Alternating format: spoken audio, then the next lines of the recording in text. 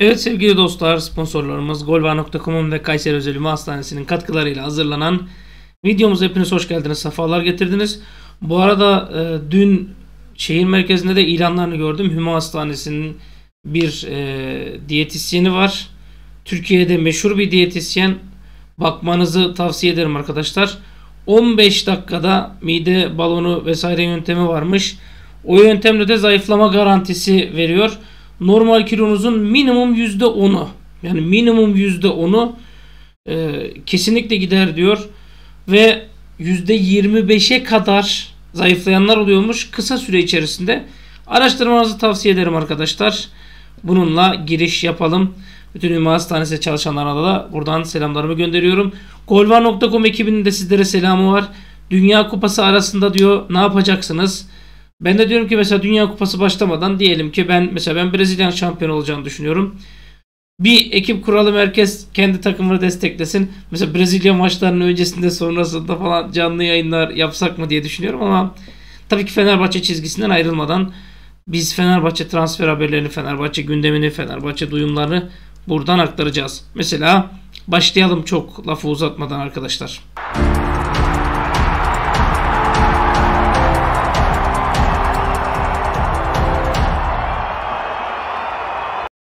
Şimdi ilk olarak Fenerbahçe ara transfer döneminde bomba gibi bir ara transfer dönemi geçirmeyi planlıyor. Bilginiz olsun.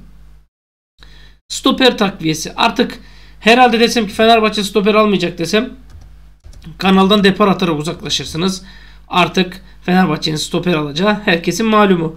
Ancak isimler konusunda bazı sıkıntılar var. Mesela Kaan Ayhan ve Samet Akaydın isimleri son günlerde gündemde olan isimler. Ancak başka isimler de gündeme gelir oldu. Bir kere bakın e, peşin peşin söyleyeyim. Sonra oluyor, gerçekleşiyor, gerçekleşmiyor. Diyorsunuz ki bana ya hocam şey demiştin dememiştin. Şu, ilk şu demişti, bu demişti. Ben Kaan Ayhan'ın geleceğine inanmıyorum. Bir, kulübünün söğüşçü olduğuna inanıyorum. İki, gelse de istemiyorum. Üç, okey. Ben Samet Akayda'nın Fenerbahçe'ye geleceğini düşünmüyorum. Adana Demirspor'un bırakacağını düşünmüyorum. Gelse faydalı olacağını da düşünmüyorum. Bu da ikinci kısım.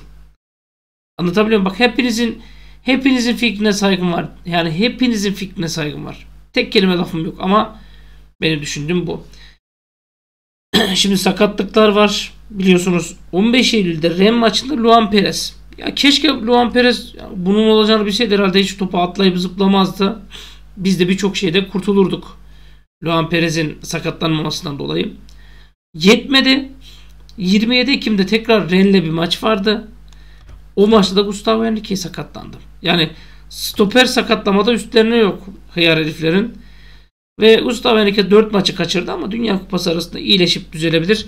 Luan Perez sniper'la e, yani halk tabiriyle kanasla vurulduğu için arkadaşlar Luan Perez'in sakatlığını ameliyatsız atlatmaya çalıştı bizimkiler. Ameliyatlı olsaydı 2-2,5 ay falan bulurdu.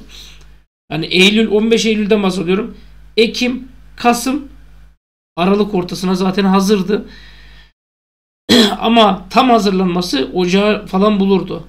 Bizimkiler bu riski göze almadı ve Luan Perez hemen hemen sakatlığını atlattı gibi.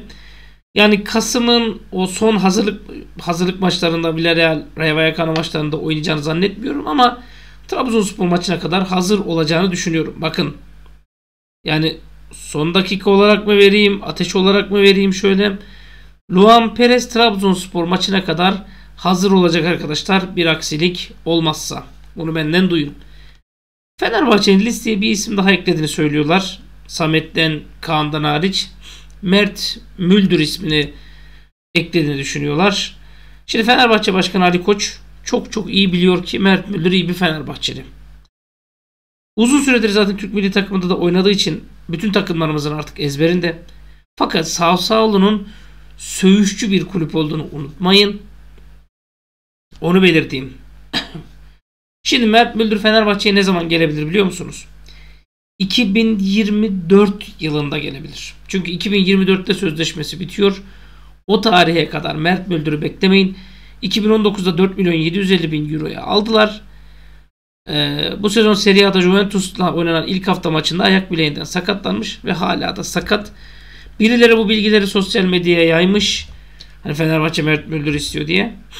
Yani Mert Müldür bir hani neyse az sonra konuşacağım kısımda da söyleyeyim ya da diğer videoda söyleyeyim. Birkaç tane isim artık Fenerbahçe ile özdeşleşmiş durumda. Hatem Ben Arfa Fenerbahçe'de. Geliyor Yarın Eren Zahavi. Hani bunun gibi. Şu an için Mert Müldür ile ilgili bir tasarrufumuz yok. Diğerlerini de duyumlu verdim. Bu arada Samet Akaydın'la ilgili resmi bir açıklama gelmiş. Fakat bu açıklamanın içerisinde birkaç tane farklı yerde var. Ona da değinmek zorundayım. Kusuruma bakmayacaksınız arkadaşlar. Çünkü mecburum buralara değinmeye. Şimdi Adana Demirspor Başkanı Sayın Murat Sancak açıklamalarda bulunmuş.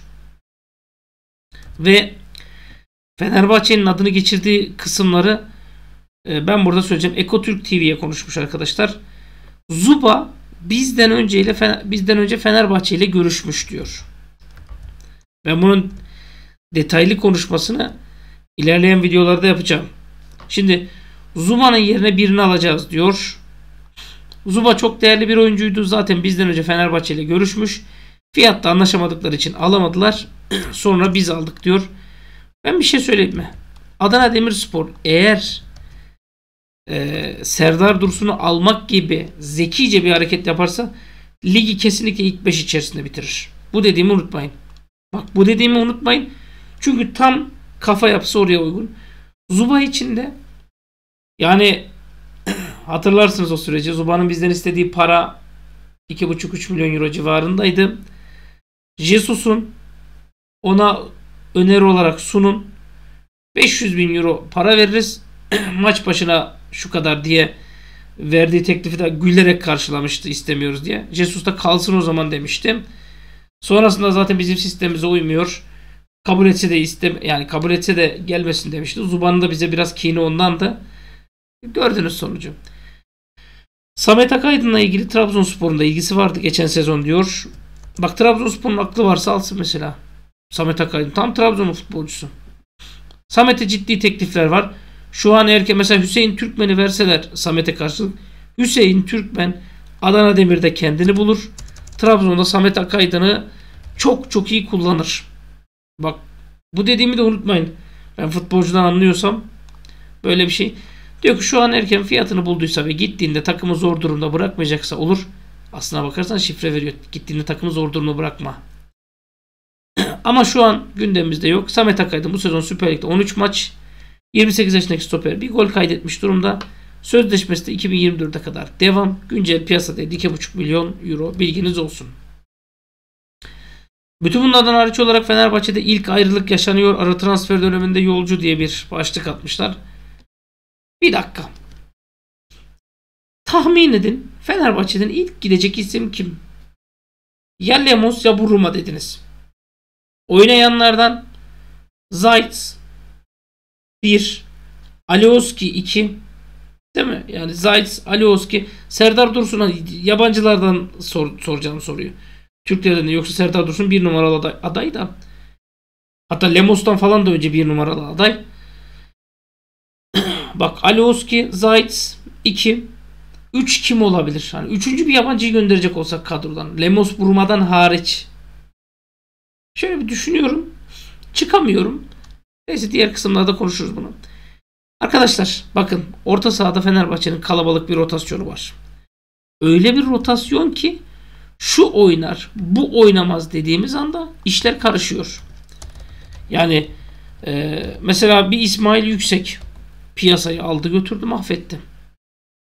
Oynamaz diyebilir misiniz? Diyemezsiniz. Mesela bir e, Zayt, bir Crespo ikisi yan yana oynamaz diyebilir misiniz? İmkanı yok. Şey, pardon Arao Crespo. Bak Arao Crespo e, İsmail Yüksek dedik. 3. 3. E, Mert Hakan Yandaş kurşunu çıkarttılarsa sezon başından beri bu nasıl bir sakatlıktır arkadaş ya. Nasıl bir uğursuzluktur. Kursunu çıkarttılarsa Mert Hakan da oynar 4. Yani 2 Türk 2 yabancı rotasyonu. Ve her şekilde sana derman olabilir. Ancak 5. sıraya düşen Zayt hazır para ediyorken bence satılmalı. Bakın Zayt aşığı olabilirsiniz. Seviyor olabilirsiniz. Ama e, şunu da belirteyim. Arkadaşlar futbolcunun kafa bir kere gidik. Bir kere gidik. Fenerbahçe lider mi? Lider. Jorge Jesus'un kararlarına da hepimiz saygılıyız. Jesus bugün desin ki Luan Perez'i satın. Ben ses çıkarmam. Bildiği vardır derim. Ve arkadaşlar Fenerbahçe transferi istiyorsa özellikle stoper transferi ya Türk olacak bu ya kadroda açılma olacak. Zayt'sın gitmesi bekleniliyor. Piyasa değeri 5 milyon euro. 5'i veren alır. Onu belirteyim. Bizim beklentimiz 3-3,5 civarında. 2-2,5 civarında da Serdar'dan beklentimiz var. Yani 5-6 milyon euro kazanırsak ne ala. Kariyerinde 326 maça çıkmış. 51 gol. 42 asist yapmış Zayt. Fenerbahçe'de geçen sezon çok iyiydi. Ama Fenerbahçe geçen sezon çok iyi miydi? Bunu da düşünmek lazım. Mesela Kerem Aktürkoğlu hayatında ilk defa ettiği Başakşehir maçında yapmış. Bir kardeşimizin çok güzel bir yorum var. Ben yorumlara bakıyorum arada merak etmeyin. Diyor ki hocam diyor Kerem bile diyor o maçta diyor hat yapmış. Var gerisini düşün diyor Başakşehir'in durumunu diye. E, Türk milli takımı İskoçya ile bir maç yaptı dün. Yani o İskoçya bile o Başakşehir'e 3-4 tane atardı yani o kadar söyleyeyim. Türk milli takımı çok iyi gözüktü hocam müthiş oynuyoruz diyorlar. Türk milli takımı Ferdi çıktığı andan itibaren hüviyetini kaybetti, pozisyon bilgisini kaybetti. Diyorsunuz ya Fenerbahçe tek Ferdi ile ileri çıkabiliyordu diye. Yani tek Ferdi ile ileri çıkmıyordu Fenerbahçe. Ama Ferdi çıktı milli takımda. Bak İrfan Can kaç tane önemli kilit pas attı aslında. Hepsi es geçildi. Hiçbirini değerlendiremediler. Mesela aldığı pası yaptı direkten döndü. Aynı ortayı başka biri yaptı. Cengiz yaptıydı sanırım. Ortayı yaptı. Ee, Ozan Kaba kafayı vurdu. Gol oldu. Aynı orta. Hatta İrfan'ınki daha kaliteli bir ortaydı.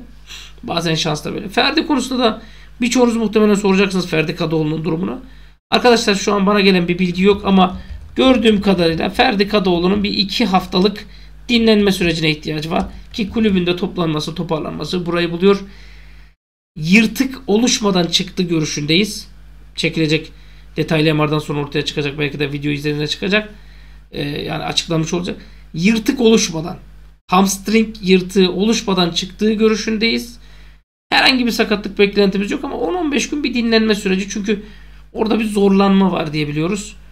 E, gereken şey de sonra ortaya çıkar. Ve asıl muhtemelen başlığa bunu koyacağım. Jesus. Fenerbahçe'de gündem Jesus'un sözleşmesi. Heyecanla beklenilen bir olay ve müjdeli haber için harekete geçilmiş ve görüşme tarihi netleşmiş arkadaşlar. Başkan Ali Koç yeniden yapılanmaya sürekli 3 günde bir maç oynamaya ciddi eksiklere rağmen yarıştığı tüm kulvarlarda olan Jesus'a e, ve takıma güvenini göstermiş. Soyunma odasında ta- takıma destek vermiş. Jesus da futbolda böyle şeyler yaşanabilir. Siz çok daha iyi olduğunuzu herkese gösterdiniz. Şimdi araya giriyoruz. İyi bir şekilde dinlenin. Sonra çalışıp e, alıştırdığımız seviyede yolumuza devam edeceğiz demiş. Ali Koç bu takıma güveniyorum diye belirtmiş arkadaşlar. Şansal Büyükhan'ın bir açıklaması var. Kadro kalitesi olarak Fenerbahçe çok iyi değil ama oyun olarak Süper Lig'in üstünde diyor. Yani hem Avrupa'da zirvede hem Türkiye'de zirvede. Bu da Jesus'un başarısıdır. İşte biz yıllardır bunu anlatmaya çalışıyoruz. Hocam financial fair play var kimseyi alamıyoruz. Harcama limitleri var kimseyi alamıyoruz. E o zaman iyi teknik direktör getireceksin. içindeki cevheri çıkaracak ortaya. Ya size şunu söylüyorum. Bugün Arda Güler her maç 90 dakika oynasa, İsmail Yüksek her maç 90 dakika, Ferdi Kadıoğlu her maç 90 dakika, Altay 90 dakika oynasa sırıtır mı? Size bırakıyorum sırıtır mı? Ne yaparsınız biliyor musunuz? Hocam Yiğit Efe de oynasın. Hocam Yusuf Koca Türk de oynasın dersiniz. İşte Jesus bunu sağladıysa o zaman doğru adamı bulduk. O zaman doğru adamı bulduk. Ve Şansal Büyükhan dediği gibi Fenerbahçe kadro kalitesi kağıt üstünde yüksek gözükmeyebilir ama kalite sahada gösterilir. Transfer markette Uğurcan'a bilmem 20 milyon euro yazıyor misal. 20'ye satılır mı? Hocam ona bile satılmaz diyorsan onun hiçbir önemi yok. Hani transfer markette atıyorum kafadan Icardi 50 milyon euro yazıyor. Gitti Beşiktaş'a Başakşehir attı. Ondan sonra yatmaya bir başladı. Hiç kimseye gol atamamayı sürdürdü. Sezonun ortasına doğru ya da sonuna doğru da İşte gitti gidiyor falan filan söylentiler. Bak mesela şimdi Seferovic kimse konuşmuyor. Anladınız mı demek istedim. Ama Fenerbahçe'de Valencia gönderilecek ilk adamdı. Herif gol kralı. Çatır çatır atıyor. Batshuayi ulan bunu mu aldınız Beşiktaş'ın çöpü? Kısıtlı süre 8 gol. Anlatabiliyor muyum? Ve Jesus bunu sağladı. Oyun felsefesi oturttu. Haftada 3 maça çıkan bir oyun felsefesi. Ve Fenerbahçe taraftarının hayalini gerçekleştirdi aslında. Arkadaşlar bakın Fenerbahçe'de Twitter hesapları, YouTube hesapları, ne bileyim Facebook, Instagram hesapları hepsi memnun bu durumdan. İkide bir de maç olduğu için etkileyicim artıyor. Herkes memnun. Yani herkes memnun. Bir düşünsenize Fenerbahçe'nin Avrupa'ya gitmedi. Hocam dinlenirdik dinlenirdik. Onun psikolojisini sağlamak zor. Ya Dinamo Kiev'i Ren'i geçip sen lider bitirdin o grubu. Ve Fenerbahçe Jesus ile sözleşme gündemde arkadaşlar. Kesin tarih 25 Kasım. 25 Kasım'da Jesus da masaya oturulacak diye bir haber vermiş Fanatik Gazetesi. Ve e, bu habere dayanarak söylüyorum. Muhtemelen Tahir Kum bu haberin kaynağıdır. Tahir Kum kaynaksa doğrudur bu haber. Ben garanti veriyorum size. Şimdi bu resmi görüşme şey değil. Kesin buradan sonuç çıkacak değil. Bu ön görüşme sayılabilir. Hani şartlar e, vesaire konuşulacak. Biz sana güveniyoruz. Şampiyon yapsan da yapmasına devam etmek istiyoruz. Şartları sunulacak. Benim bildiğim Jesus ne olumlu ne olumsuz yanıt vermez. Bekletir. Nisan'a kadar bekletir. Mayıs'a kadar bekletir. Şampiyonluğa kadar bekletir. Ondan sonra da çok sert ve net açıklamalarla bu işi bitirir. Şimdi 25 Kasım dediğim gibi hedef imza imza değil onu söyleyeyim. Dünya Kupası 20 Kasım'da başlayacak diyor. 18 Aralık'ta sona erecek. Ve Jesus'un adının anıldığı Brezilya'da teknik direktör Tite'nin geleceği de bu süreçte netlik kazanacak diyor. Uzun süreli de kontrat planlanıyor demiş. Ben size söyleyeyim. Yani 25 Kasım'da dananın kuyruğu kopmaz. Asla kopmaz. %1 ihtimal bile vermiyorum. Ama 25 Kasım'da çıkacak yorum, yapılacak açıklama size birçok şeyin e, sonucunu verebilir diye düşünüyorum. Ama ben şunu söyleyeyim. Fenerbahçe'de gerçekten Jesus konusunda mutlu bir sona hazır olun. Yani tarihine kadar net duyumu verdim. Nisan ayında falan bekleyin. Şampiyonluk sonrası bekleyin. İnşallah şampiyon oluruz ve takımı güvenle verebileceğimiz bir hoca. Arkadaşlar bak yadırgayamaz oldunuz. İsmail Yüksek'in ilk defa ilk 11'de başladığı resmi maçı bir hatırlasanıza. Yangın yeriydi buralar. Buralar yangın yeriydi. Ben her maç öncesinde canlı yayın yaptığım için biliyorum. Yangın yeriydi. Bunu nasıl oynatır? Böyle olur mu? Artık mesela e, maç öncesi yayınlanan sürpriz kadro yazıyorum. Kimsenin umurunda değil. Çünkü her kadro sürpriz. Bizim çıkacak her kadromuz sürpriz. En iyi futbolcularımızdan biri 11 çıkarsa o bile sürpriz. Niye rotasyon yapmadı diye millet kafayı yiyecek. Bize bunu sağladığı için ben Jesus'a teşekkürlerimi sunuyorum. Dünya Kupası arasında inşallah bütün sakatlarımız iyileşir sakatlardan yani sakatlıklardan kurtuluruz ve devamı da gelir. Fenerbahçe'de başarıdan başarıya koşar. Bizler de mutlu oluruz. Kendinize iyi bakın arkadaşlar. Bir beğeniyi çok görmesine sevinirim. Bir de şunu söyleyeyim. Az bir şey kaldı 27.100 abone olmasına. Çok az bir sayı kaldı. Abone olmayı düşünen arkadaşlar varsa da aramıza katılıp ailemize dahil olabilirler. Görüşmek üzere.